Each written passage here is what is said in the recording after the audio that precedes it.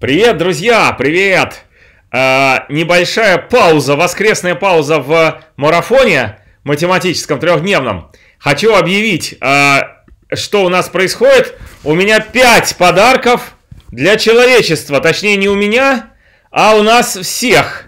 У нас всех 5 подарков, у нескольких человек. Итак, во-первых, вчера вечером вышел Форт Боярд часть 2. Он же э, называется ЧГК. Что, где, когда? С участием математиков. Ну, математиков, в общем, э, с большим пересечением с предыдущими участниками. Но Андрей Павликов перешел в э, сочинители задач. Э, Володи Зубкова нет, зато есть новые ребята. Максим Коваль и Эрик Ковалев. Э, ой, так, точно так получилось, да? Максим Коваль, Коваль и Эрик Ковалев. Да, круто. Да, действительно так. И куча народу авторы задач. В общем, появилось очень зажигательно. Я вот вовсю смотрю сейчас, э, со всей семьей смотрю. Очень круто. Задачи сложнейшие. И ничего удивительного, что... Что? А что увидите, уже посмотрев. Так, следующее. Следующий подарок номер два. Математический марафон. Uh, на стриме, который был позавчера, да, простите, что мы не вывешиваем сам стрим раньше, а только объявление о нем. Действительно, надо вывешивать сам стрим. Э, я надеюсь, что мы исправимся. Так вот, значит, на стриме, который был позавчера, объявлен математический марафон. Э, благодаря Максиму Ковалю, у которого я теперь разбираю ЕГЭ на Школково, я узнал несколько красивых задач, собственно, из ЕГЭ.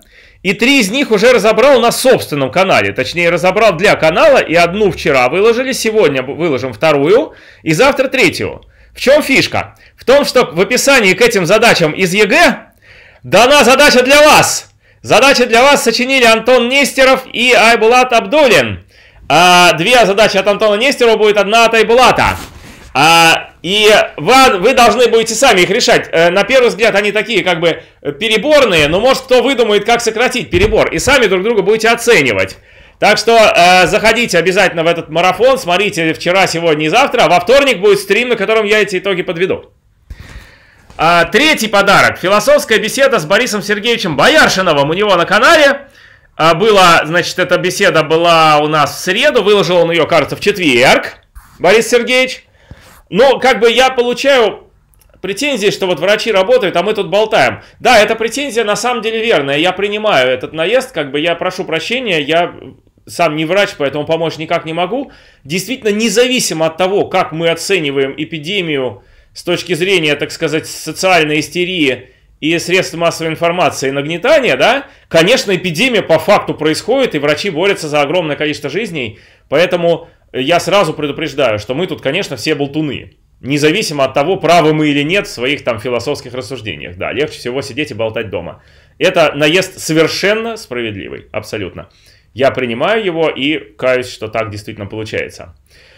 Четвертый э, подарок мой называется «Принципы математического мышления 5 уровней» на канале, ну, собственно, все, кто подписан на канал, и так знают, что этот подарок уже есть. Я прошу всех распространять. Пусть это посмотрит миллион человек, как гипотезу Пуанкаре. Почему гипотезу Пуанкаре э, смотрит миллион людей в моем исполнении, а принципы мат-мышления, которые можно именно как бы понять с доказательствами вместе, смотрит так мало народу. Давайте ее посмотрит миллион человек. Давайте прям сделаем огромный флешмоб на весь интернет, чтобы все смотрели принципы математического мышления.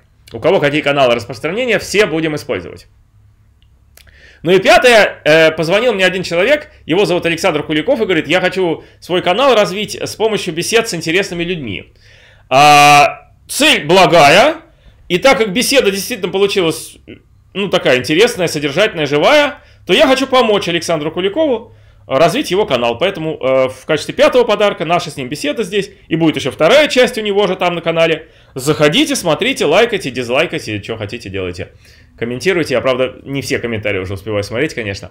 Вот так, а так, последний день, так сказать, Пасхи, да, сегодня, ну, закрывающий, да, антипасха. Ну, последний раз говорю, Христос воскресе.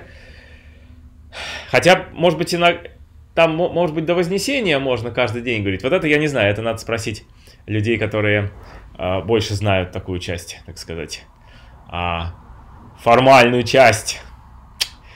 Ну что, до встреч в интернете. Э, до встреч в реале когда-нибудь, когда завершится коронавирус. Всем пока. Смотрите все эти видео.